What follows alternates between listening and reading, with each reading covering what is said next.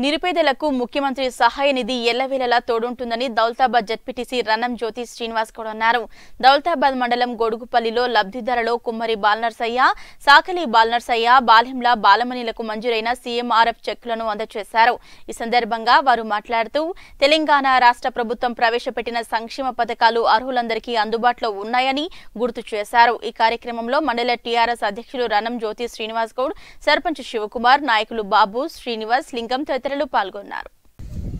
ఈరోజు నిరుపేద కుటుంబాలైన కుమ్మరి బాలనర్సయ్య సాకలి బాలనర్సయ్య బాలెంల బాలమని హైదరాబాదు కార్పొరేట్ హాస్పిటల్లో వైద్యం చేయించుకున్న వ్యక్తులు. వీరికి గత మూడు నాలుగు నెలల క్రితం హాస్పిటల్ బిల్లు తీసుకుపోయి గౌరవ పార్లమెంట్ సభ్యులు ప్రభాకర్ అన్నకి ఇయ్యంగానే ఈరోజు వాళ్ళకు చెక్కులు మంజూరు చేయించి పంపించ పంపించడం జరిగింది.